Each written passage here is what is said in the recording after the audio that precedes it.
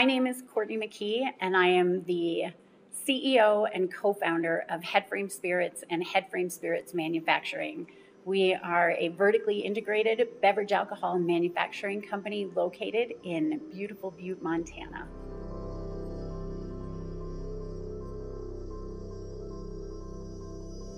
So about five, six years ago, I decided I want to make hooch. And before this, I'd been making biodiesel. So me and a couple guys invented a way to distill biodiesel at commercial scales. Big, 100 million gallon year refineries. The company that he worked for went out of business during the recession.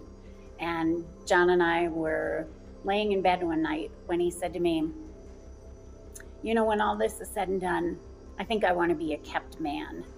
I want to take the kids to school and make lunches and be a soccer dad. To put it nicely, I called BS. And he said, Well, then what am I going to do? I don't know, babe. You know how to distill and you love a good cocktail. I pretty much got out of bed that night, and that's what started everything that we've come to do since.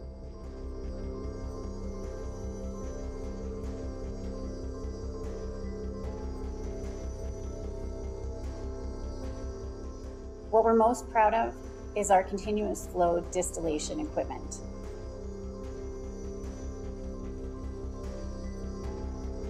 All batch distillation is, is a tea kettle, all right? And so just, you can imagine this really easily. Take a tea kettle, fill it with beer, and the stuff as it heats up that starts coming out the whistle, that's alcohol, because alcohol boils at a lower temperature than water.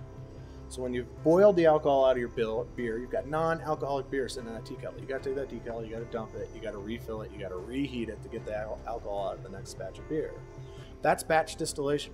Well, in continuous distillation, what we do is we still have that tea kettle example, but as we're boiling out the alcohol, we're putting in brand new beer at the same rate that it's leaving the system.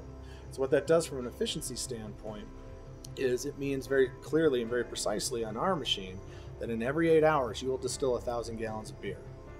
Vodka, it'll be gin, it'll be whiskey, it'll be rum, it'll be tequila, whatever you're making, it will be done in eight hours.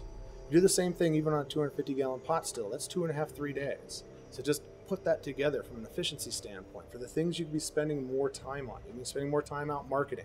You're spending more time out in the world selling your product. You're spending more time getting the things done that we all know we need to do as distilleries. So what we did was we used an integrated touch panel and PLC in the background to run the entire system for us. What's nice about that system is that you can see it remotely. You can be in your office, you can be on your cell phone, you can be on an iPad.